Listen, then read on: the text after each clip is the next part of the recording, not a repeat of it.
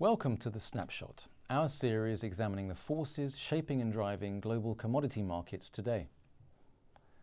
While 2014 marked a pivotal year for global energy markets with an abrupt end of $100 oil, 2015 was the year that the full impact of the commodity price collapse hit home.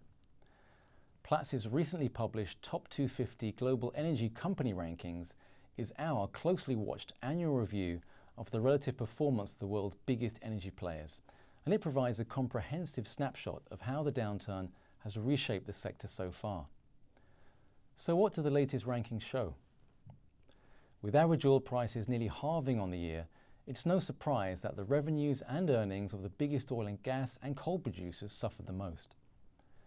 In 2015, the combined profits of the oil and gas companies in the rankings slumped to 26 billion from 139 billion the year before. And that's the lowest sector total since the top 250 was launched in 2002. The trauma felt by the fossil fuel producers, however, was the blessing of the energy players most exposed to the falling input costs, principally power producers and utilities which saw their margins jump. The outright number of independent power producers or IPPs in this year's list, for example, soared by almost 50% to their highest since the rankings began. Platts' list of the world's top 10 energy companies provides a clear picture of the profound industry upheaval in response to cheaper fossil fuels. So let's look at the rankings leaderboard. Oil and gas giant ExxonMobil retains its top spot for a 12th consecutive year, but tellingly, it is only one of four energy companies holding on to the leaderboard positions this year. Exxon is also now the only Western integrated oil major in the top 10, a list traditionally dominated by its oil major peers.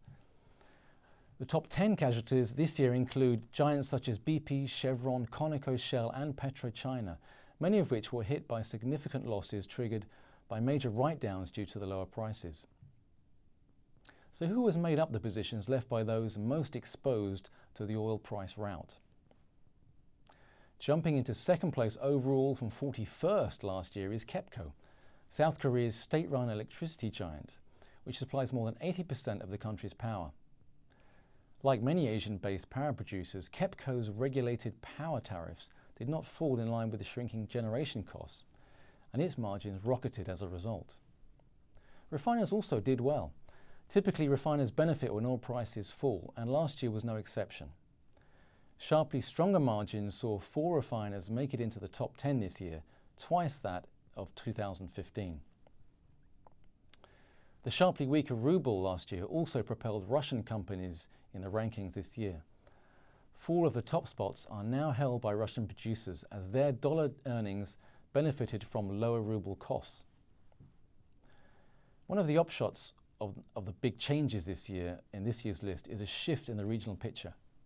With many Asian-based utilities surging up the rankings, previous winners of America's shale and unconventionals boom have been pushed into the background. That reversal sees more Asian players but fewer America's companies making the list than at any time in the past. For a much deeper dig into the top 250's global rankings, a special 20-page report is available now with a comprehensive breakdown of energy sector performance by company, as well as the broader growth and regional pictures and previous year's rankings. Until next time on the Snapshot, we'll be keeping an eye on the markets.